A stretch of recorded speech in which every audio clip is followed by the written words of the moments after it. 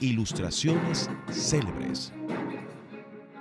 Nació en Baní en el año 1836, militar y libertador del pueblo cubano.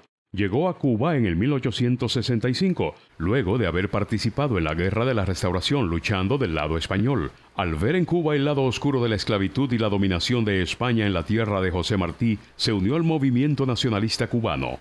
Luego de la Primera Guerra, regresó a la República Dominicana. En el año 1895, en la provincia de Montecristi, firmó con José Martí el llamado Acuerdo de Montecristi, en el que se comprometió a comandar el Ejército de Liberación de Cuba. Derrotada España, es proclamado Héroe Nacional de Cuba. Falleció en La Habana en el 1905. Su nombre, Máximo Gómez.